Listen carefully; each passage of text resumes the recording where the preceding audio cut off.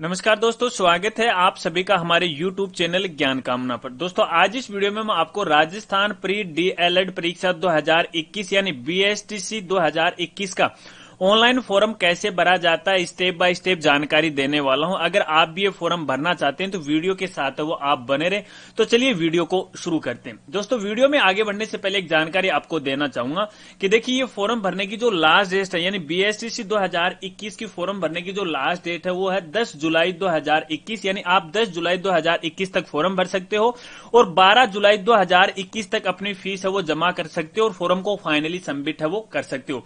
और फॉर्म भरने के लिए लिए जो फ़ीस है, वो है चार सौ रुपये सामान्य शुल्क। अगर आप संस्कृत के साथ भी फॉर्म भरना चाहते हो तो इसकी जो शुल्क रहेगी, वो साढ़े चार सौ रुपये रहेगी। चलिए फॉर्म कैसे भरते हैं? दोस्तों फॉर्म भरने के लिए सबसे पहले आपको प्री डीएलडी परीक्षा 2021 की जो ऑफिशियल वेबसाइट है, उस पर आपको विज़िट करना है। डायरेक्टली आपको गूगल पे जाके सर्च करना प्री डीएलएड ये जब आप सर्च करोगे तो यहाँ पे देखिए साइट आ जाएगी प्री डीएल डॉट कॉम इस वेबसाइट पे आपको विज़िट करना है या फिर आप हमारी वेबसाइट पे विज़िट कर सकते हो। हमारी वेबसाइट का नाम है W W dot Rajguruji dot com जैसे इस वेबसाइट पे आप विज़िट करोगे, थोड़ा सा यहाँ पे नीचे आओगे। नीचे आने के बाद आपके लिए डायरेक्ट जो लिंक है वो प्रोवाइड करवा दिया आपकी सुविधा के लिए ताकि आपको किसी प्रकार की कोई परेशानी नहीं है। यहाँ से आपको रजिस्ट्रेशन करना है या फिर ऑफिशियल वेबसाइट पे विज़िट करके देखिए यहाँ पे आपको लेफ़्ट साइड में दो ऑप्शन मिल जाएँगे। सबसे पहले आपको रजिस्ट्रेशन करना पड़ेगा। जब रजिस्ट्रेशन सक्सेसफुली हो जाता है उसके बाद आपको लॉग इन करके फॉर्म वो अप्लाई करना पड़ेगा। चलिए, सबसे पहले अपन रजिस्ट्रेशन वो करते हैं और रजिस्ट्रेशन के लिए रजिस्ट्रेशन न्यू कैंडिडेट वाले ऑप्शन पे क्लिक करते हैं। जैसे ही क्लिक करेंगे तो एक नया पेज है, रजिस्ट्रेशन का ओपन हो जाएगा। सबसे पहले दोस्तों, आपको यहाँ पे अपना नाम है, पिता का नाम है, माता का नाम है, अपने मोबाइल नंबर है, ईमेल एड्रेस है डीओबी है। इसके अलावा ये जो कैप्चा आपको यहाँ पे डालनी और ध्यान रखना, जब भी आप रजिस्ट्रेशन करो तो अपने नाम की जो स्पेलिंग है, पिता और माता के नाम की स्पेलिंग है, वही आपको डालनी जो की आपकी टेंथ की मार्कशीट में। यदि एक बार रजिस्ट्रेशन कर लेते और गलती रह जाती है तो उसमें आप एडिट नहीं कर पाओगे। फॉर्म में अपनी बेसिक इन्फॉर्मेशन डालने के बाद दोस्तों, आपको यहाँ सबमिट पे क्लिक करना है। और जैसे आप सबमिट पे क्लिक करोगे तो यहाँ पे देखिए कंफर्मेशन के लिए पूछेगा तो आपको यहाँ पे कंफर्म कर देना है। तो आपको ध्यान रखना है कि यहाँ पे आपके जो मोबाइल नंबर है, आपका जो नाम है, पिता का नाम है, एक बार चेक कर लीजिएगा। यदि सही है तो आप कन्फर्म वो कर दीजिएगा। जैसे आप कंफर्म कर दोगे तो आपको यहाँ ओके पे क्लिक कर देना है। अब जैसे आप ओके पे क्लिक करोगे तो सबसे पहले आपको यहाँ पे अपनी एप्लीकेशन आईडी नंबर डालना है और पासवर्ड आपको यहाँ पे डालना है। एप्लीकेशन आईडी और जो पासवर्ड वो आपके मोबाइल नंबर पर मैसेज के द्वारा आ गई है, वो आप डाल लीजिएगा लॉगिन है, वो कर लीजिएगा। तो चलिए मैं लॉगिन कर लेता हूँ। इसके बाद दोस्तों, सबसे पहले आपको अपना जो पासवर्ड है वो चेंज करना है। और पासवर्ड चेंज करने के लिए यहाँ पे सबसे पहले पुराना पासवर्ड डालना, जो की आपके मोबाइल नंबर पे आया है। उसके बाद यहाँ पे आपको अपना नया जो पासवर्ड है वो डाल देना। और ध्यान रखना, जब भी आप पासवर्ड डालो तो याद वाला पासवर्ड डालना, जो की आपको हमेशा याद रहे। और पासवर्ड में स्मॉल लेटर है कैपिटल लेटर है डिजिट है, और स्पेशल जो करेक्टर है, वो आप ज़रूर यूज़ कीजिएगा। तो चलिए मैंने यहाँ पे पासवर्ड है, वो डाल दिया है सबमिट पे क्लिक करते हैं, और जैसे आप सबमिट पे क्लिक करोगे तो आपको दोबारा एक बार लॉगिन करना पड़ेगा। और दोबारा लॉगिन करने के लिए देखिए, आपको मेन वेबसाइट पर यहाँ पे login to fill application form है, इस पे आपको क्लिक कर देना है। इसके बाद यहाँ पे आपको दोबारा अपनी एप्लीकेशन आईडी वो डाल देनी है। एप्लीकेशन नंबर डालने के बाद आपको पासवर्ड डाल देना, फिर दोबारा आपको यहाँ पे लॉगिन पे क्लिक करना है। अब जैसे आप लॉगिन पे क्लिक करोगे तो आपका जो फॉरम है वो ओपन हो जाएगा। फॉरम ओपन होने के बाद दोस्तों इस तरह से आपको फॉरम का जो इंटरफेस है वो दिखाई देगा और यहाँ पे देखिए सबसे पहले ऊपर आपको चार पाँच स्टेप है वो कंप्लीट करनी है। आप देख सकते हैं सबसे पहले आपको बेसिक डिटेल भरनी है, फिर अपनी फ़ोटो सिग्नेचर आपको अपलोड करने हैं एड्रेस डिटेल आपको डालनी है एजुकेशन डिटेल आपको डालनी है और लास्ट में आपको फॉरम प्रिव्यू है वो आपको यहाँ पे दिख जाएगा। और यहाँ पे आपका अप्लीकेशन फॉरम नंबर है वो यहाँ पे दिखाई दे रहा है। तो सबसे पहले दोस्तों, आपको यहाँ पे अपने परीक्षा केंद्र का चुनाव करना है, यानी सेंटर का चुनाव करना है, जहाँ पर आप ये एग्ज़ाम देना चाहते हैं तो आपकी आवश्यकता के अनुसार कोई भी एक डिस्ट्रिक्ट है, वो सिलेक्ट कर लीजिएगा, जो आपकी नज़दीक पड़ता है। उसके बाद दूसरा डिस्ट्रिक्ट आपको यहाँ पे सिलेक्ट है, वो कर लेना। तो चलिए मैं यहाँ पे दूसरा जो डिस्ट्रिक्ट है, वो सिलेक्ट कर लेता हूँ। आप अपने आवश्यकता के अनुसार है, वो सिलेक्ट कर लीजिएगा। इसके बाद देखिए, यहाँ पे बेसिक जानकारी आपकी आ जाती है। इसके बाद दोस्तों, यहाँ पे देखिए, आपके आधार नंबर आपको यहाँ पे डालने हालाँकि आधार नंबर कंपलसरी नहीं है, आप डाल भी सकते हो और नहीं भी डाल सकते। इसके बाद यदि आपके पास कोई अपना मोबाइल नंबर है तो मोबाइल नंबर आप यहाँ पे डाल सकते हो। इसके बाद दोस्तों, यहाँ पे आपका जो जेंडर है, वो जेंडर आपको यहाँ से सिलेक्ट है, वो कर लेना। जो भी आपका जेंडर मेल या फीमेल है, उसको सिलेक्ट कर लीजिएगा। इसके बाद यहाँ पे आपकी विवाहिक स्थिति है, वो आपको बतानी है कि आप मैरिड हो या अनमेरिड हो तो आप यहाँ पे अपनी आवश्यकता के अनुसार वो सिलेक्ट कर लीजिएगा। इसके बाद आपके मूल राज्य का नाम आपको बताना है, यानी आपका जो स्टेट है, वो कौन सा है, वो स्टेट आपको यहाँ से सिलेक्ट है, वो कर लेना। अगर आप राजस्थान के बाहर के हैं तो आप अपना स्टेट है, वो सिलेक्ट कर लीजिएगा। इसके बाद अपना जो जिला है, वो जिला यहाँ से आप सिलेक्ट है, वो कर लीजिएगा। तो चलिए मैं यहाँ जिला वो सिलेक्ट कर लेता हूँ। इसके बाद आपको अपनी जाति की जो कैटेगरी वो सिलेक्ट करनी है। जर्नल है एससी है एसटी है ओबीसी कर्मी, जो भी है, आप अपने आवश्यकता के अनुसार वो सिलेक्ट है, वो कर लीजिएगा। इसके बाद अगर आप माइनॉरिटी ग्रुप से हैं तो येस कर दीजिएगा, वरना आप नो है, वो कर दीजिएगा। यदि आपके डिसेबिलिटी है तो आप येस कर दीजिएगा, वरना नो है, वो कर दीजिएगा। यदि आप रक्षा कर्मी या उस पर आश्रित हैं तो आप येस कर दीजिएगा, वरना नो है, वो कर दीजिएगा। कहने का मतलब आप अपनी आवश्यकता के अनुसार इस फॉर्म में जो बेसिक इन्फॉर्मेशन वो आपको भरनी है। फिर आपको यहाँ पे सेव एंड नेक्स्ट का ऑप्शन आपको मिल जाता है। इस पे आपको यहाँ पे क्लिक कर देना है। तो आपकी पहली जो स्टेप है वो कंप्लीट हो जाती है बेसिक डिटेल सेव सक्सेसफुली। इसके बाद दोस्तों दूसरी जो स्टेप है यहाँ पे आ जाती है। और दूसरी स्टेप के अंदर आपको अपनी फ़ोटो अपलोड करनी है। अपने जो हस्ताक्षर है वो आपको यहाँ पे अपलोड करना है। और अपना जो अंगूठे का निशान है वो आपको यहाँ पे अपलोड करना तो चलिए सबसे पहले अपन फ़ोटो है वो अपलोड करते हैं। फ़ोटो अपलोड करने के लिए देखिए, यहाँ पे क्लिक है टू अपलोड, चेंज फ़ोटो पे आपको क्लिक करना है। तो यहाँ पे एक पोपअप आ जाएगा और यहाँ से आपकी फ़ोटो सिलेक्ट कर लेनी है। तो चलिए, मैंने फ़ोटो है यहाँ पे सिलेक्ट कर ली है। अब देखिए, हमारी जो फ़ोटो वो सही तरीके से फिट नहीं बैठ रही है। और फ़ोटो फिट बैठाने के लिए दोस्तों देखिए, यहाँ पे आपको ये आगे पीछे कर लेना तो आपकी फ़ोटो है वो एडजस्ट हो जाएगी, क्रॉप हो जाएगी, और यहाँ पे देखिए क्रॉप फ़ोटो है। इस पर आपको क्लिक कर देना, यहाँ से एडजस्ट करके, छोटा बड़ा करके आप अपने आवश्यकता अनुसार इसे क्रॉप है वो कर लीजिएगा। जैसे आप क्रॉप करोगे तो यहाँ पे आप देख सकते हो कि आपकी फ़ोटो का प्रिव्यू है, कुछ इस तरह से दिखाई देगा। फिर आपको कन्फर्म फ़ोटो पे क्लिक कर देना है तो आपकी फ़ोटो है वो अपलोड हो जाती है। उसके बाद आपके जो सिग्नेचर है, इसके लिए आपको यहाँ पे क्लिक कर देना है, उसी हिसाब से आपको कर लेना। अपने सिग्नेचर को अपलोड करने के लिए ब्राउज पे आपको यहाँ पे क्लिक कर देना है। सिग्नेचर अपलोड करने के बाद यहाँ पे अपने सिग्नेचर की सेटिंग सही कर लीजिएगा क्रॉप कर लीजिएगा और कन्फर्म हो कर लीजिएगा।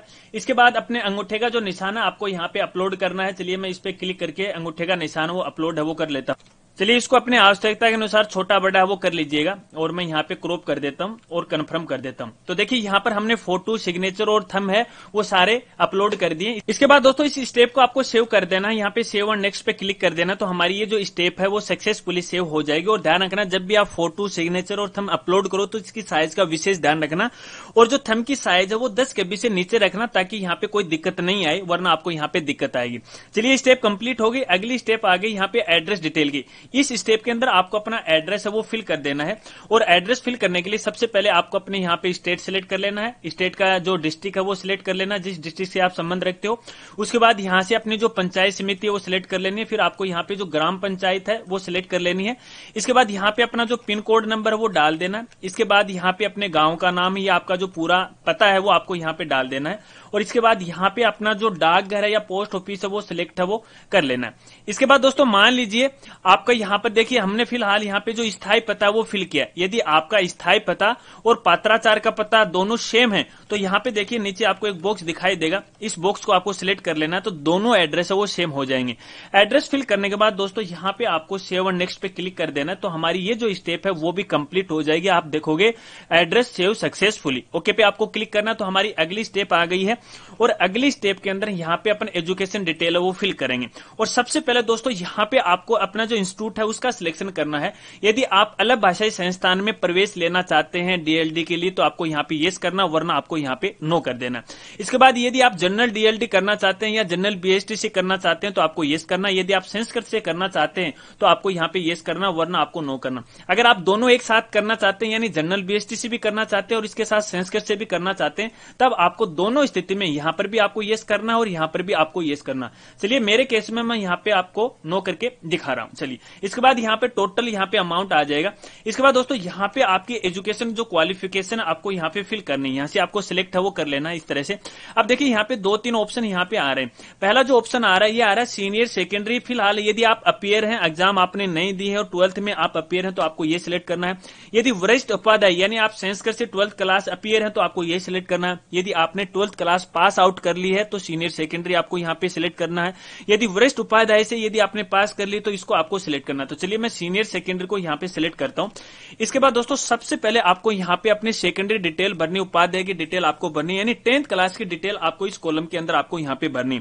और सबसे पहले आपको यहाँ पे अपना जो बोर्ड है, उसको सिलेक्ट करना है। यदि आप आरबीसी बोर्ड राजस्थान से तो ये बाय डिफ़ॉल्ट सिलेक्ट आपको मिलेगा। यदि आप आरबीसी के अलावा किसी दूसरे स्टेट के बोर्ड से आपने टेंथ क्लास पास आउट किए तो अपने आवश्यकता के अनुसार बोर्ड है वो यहाँ पे सिलेक्ट है, वो कर लीजिएगा। इसके बाद आगे यहाँ से आप अपने ईयर है वो सिलेक्ट कर लीजिएगा कि टेंथ क्लास आपने कौन से साल में पास की है। इसके बाद यहाँ पे अपना जो रोल नंबर है वो आपको डालना है। मैक्सिमम मार्क आपको यहाँ पे डालना है और कितने नंबर आपने हासिल किए वो आपको यहाँ पे डालना है। जो नंबर आप यहाँ पे डालोगे तो टोटल जो परसेंटेज है आपको यहाँ पे दिखाई देगा। इसके बाद यहाँ पे देखिए अगले कॉलम में आपको सीनियर सेकेंडरी या ट्वेल्थ क्लास की डिटेल आपको यहाँ पे फिल करनी है। अगर आप ट्वेल्थ पास आउट के लिए फॉर्म भरे तो यहाँ पे देखिए आपको ये जो बेसिक डिटेल आपको डालनी पड़ेगी। यदि आप अपियर में दिखाते हो, यानी अभी तक ट्वेल्थ का रिज़ल्ट नहीं आया है और अपियर में अगर आप यहाँ पे अपियर सिलेक्ट करते हो तो आगे आपको यहाँ पे देखिए काफ़ी सारी जो डिटेल आपको नहीं भरनी पड़ेंगी तो लेकिन मैं यहाँ ट्वेल्थ पास के लिए अप्लाई कर रहा हूँ इसलिए मैं यहाँ पे सीनियर सेकेंडरी पास को सिलेक्ट कर रहा हूँ तो यहाँ पे बोर्ड सिलेक्ट करने के बाद यहाँ पे सबसे पहले ईयर है वो सिलेक्ट आपको यहाँ पे करनी है इसके बाद जो रोल नंबर है दोस्तों आपको अपनी आवश्यकता के अनुसार यहाँ पे डाल देना है मैक्सिमम मार्क कितने वो डाल देना है इनमें से आपके कितने नंबर आए हैं वो आपको यहाँ पे इस तरह से डाल देना है तो टोटल नंबर यहाँ पे आ जाएँगे इसके बाद यहाँ पे देखिए कॉलम है इसको आपको मार्क कर देना है। ये मार्क करने के बाद दोस्तों यहाँ पे इस स्टेप को आपको सेव कर देना है। और सेव एंड नेक्स्ट पे आपको क्लिक कर देना तो हमारी ये स्टेप है, वो भी सेव हो जाएगी। तो आप यहाँ पे स्क्रीन पे देख सकते हो सेव सक्सेसफुली ओके पे आपको यहाँ पे क्लिक करना है। ओके पे क्लिक करने के बाद देखिए दोस्तों, हमारी लास्ट स्टेप आ जाती है। यानी हमारा जो फॉरम प्रीव्यू है, वो दिखाई देगा। यानी जो भी फ़िलहाल हम फिल करके लेके हैं फॉरम के अंदर, जो भी अपनी बेसिक डिटेल्स अपना नाम पता एड्रेस वगैरह वगैरह, हर एक डिटेल है आपको यहाँ पे दिखाई देगी। यदि ये सब कुछ सही है, कोई गलत नहीं है तो आप फाइनली इसे वेरीफाई कर सकते हो। अगर इसमें कहीं दिक्कत आ रही है, कोई गलती रह गई है तो यहाँ पे देखिए नीचे आपको ऑप्शन मिल जाएगा एडिट फॉरम और जिस स्टेप के अंदर जो गलती है एरर है, उसे आप अपडेट कर दीजिएगा। और बाद में save and next save and next करते हुए फॉर्म को फाइनली सबमिट कर दीजिएगा। मान लीजिए हमारी ये सारी डिटेल एकदम सही है, किसी प्रकार का कोई करेक्शन नहीं है, तब आपको फाइनली यहाँ पे वेरीफाई एंड सेव ड्राफ्ट पे आपको यहाँ पे क्लिक कर देना अब जैसे ही आप यहाँ वेरीफाई पे क्लिक करोगे तो आपका ये जो फॉर्म है, वो सबमिट हो जाएगा। ओके पे आपको यहाँ पे क्लिक कर देना है। अब जैसे ही आप ओके पे क्लिक करोगे तो दोस्तों यहाँ पे देखिए आपको पेमेंट करना पड़ेगा। और पेमेंट है, आप ऑनलाइन किसी भी माध्यम से यहाँ पे कर सकते हो। बहुत सारे पेमेंट के ऑप्शन आपको यहाँ पे मिल जाते हैं। अब यहाँ पे देखिए, जो अमाउंट आपको पे करना है, वो अमाउंट आपको यहाँ पे दिखाई देगा। और अमाउंट पे करने के लिए यहाँ से आपको पेमेंट मेथड है, वो सिलेक्ट करना है। यानी आप किसके द्वारा पेमेंट करना चाहते हैं? नेट बैंकिंग क्रेडिट कार्ड या फिर यूपीआई के द्वारा, या फिर ई मित्र चलान के द्वारा। जैसा आप करना चाहते हैं, उसे सिलेक्ट कर लीजिएगा। मैं यहाँ नेट बैंकिंग को सिलेक्ट कर रहा हूँ। उसके बाद आपको यहाँ पे प्रोसेस फॉर पेमेंट पे आपको क्लिक करना तो ये पेमेंट गेटवे पे ले जाएगा।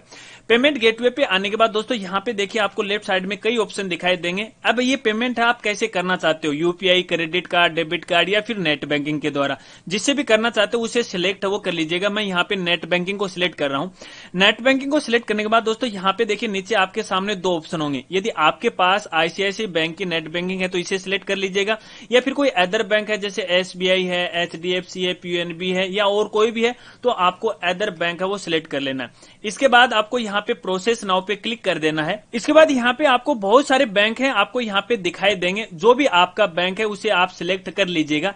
अगर यहाँ ऊपर आपको नहीं दिखाई दे रहा है, फिर यहाँ पे देखिए सिलेक्ट अनोदर बैंक का ऑप्शन आपको मिल जाएँगे। तो यहाँ पर आपको टोटल बैंक है वो दिखाई देंगे। जो भी आपका बैंक है उसे सिलेक्ट कर लीजिएगा। मैं यहाँ पे एसबीआई बैंक को सिलेक्ट करता हूँ। पे नाउ पे क्लिक करता हूँ। अब जैसे अपन पे नाउ पे क्लिक करेंगे तो हमें ये एसबीआई बैंक की लॉगिन आईडी या नेट बैंकिंग पे हमें ले जाएगा। वहाँ पर हमें अपना यूज़र नेम और पासवर्ड डाल के अपना पेमेंट है वो कर देना है। अब जैसे ही आप पेमेंट कर दोगे तो वापस ये रिडायरेक्ट होकर आपके फोरम पे वो आ जाएगा। अब देखिए दोस्तों, मान लीजिए फ़िलहाल मैं यहाँ पे पेमेंट नहीं कर रहा हूँ। हो सकता है कि मान लीजिए कोई टेक्निकल इश्यू आ गया और आपका जो पेमेंट है वो फाइनल नहीं हुआ। फिर आपको यहाँ पे क्या करना है? तो फिर आपको वापस से अपनी लॉगिन आईडी से लॉगिन है वो कर लेना। जैसे मैं वापस यहाँ पे लॉगिन कर रहा हूँ और लॉगिन करने के लिए देखिए यहाँ पे आपको वापस अपना जो चलान है वो यहाँ पे आपको दिखाई देगा, ठीक है? और फिर आपको वही प्रोसेस करनी है जो फ़िलहाल अपन करके लेके फ़िलहाल मैं यहाँ पे पेमेंट नहीं कर रहा हूँ। तो फिर आपको वापस यहाँ पे होम वेबसाइट पे आना और दोबारा आपको यहाँ पे लॉगिन है, वो कर लेना है। चलिए, मैं लॉगिन वाले ऑप्शन पे क्लिक करता हूँ। अब यहाँ पे अपने यूज़र आईडी और पासवर्ड आपको डालना है। लॉगिन आईडी डालने के बाद यहाँ पे लॉगिन पे आपको यहाँ पे क्लिक कर देना तो दोबारा अपन अपने फोरम के अंदर लॉगिन हो जाएँगे। और लॉगिन होने के बाद देखिए, वापस पेमेंट वाला मोड आ जाता है तो उसी प्रोसेस को आपको अपनाना और अपना पेमेंट है, वो कर देना है। इसके बाद दोस्तों, मान लीजिए आपने फाइनली पेमेंट कर दिया तो आपका फॉर्म सबमिट हो जाएगा। फॉर्म सबमिट होने के बाद इसका प्रिंट आउट आपको ले लेना है और आपके पास भविष्य के लिए सुरक्षित रखना है। यहाँ पर मैं आपको किसी प्रकार का पेमेंट करके नहीं दिखा रहा हूँ, क्योंकि केवल एक डेमो वीडियो था, जिसके अंदर मैंने आपको बताया कि फॉर्म कैसे भरा जाता है स्टेप बाय स्टेप जानकारी मैंने यहाँ पे आपको बताई है। मान लीजिए जब आप फॉर्म फिल कर रहे हो और कोई स्टेप यहाँ पे बीच में रहेगी कोई टेक्निकल इश्यू आ गया और आपका फॉर्म फाइनली सबमिट नहीं हुआ तो दोबारा आपको वेबसाइट पे आके दोबारा लॉग कर लेना है तो आपका फॉर्म वापस वहीं से शुरू हो जाएगा जहाँ पर आपने छोड़ा था। जैसा कि यहाँ पर हमने पहले जो अपना जो पेमेंट है वो कैंसिल कर दिया और दोबारा लॉग किया तो वहीं पर आके ये फॉर्म है वापस स्टार्ट हो गया। तो इसी तरह से आपका फॉर्म है वापस स्टार्ट हो जाएगा। जब फाइनली आप पेमेंट कर दोगे तो आपका फॉर्म है वो भी सक्सेसफुली सबमिट है, हो जाएगा। अगर फॉर्म भरते समय कोई दिक्कत आ रही है तो आप कमेंट कर सकते हैं। मैं आपकी पूरी हेल्प करने की कोशिश करूँगा।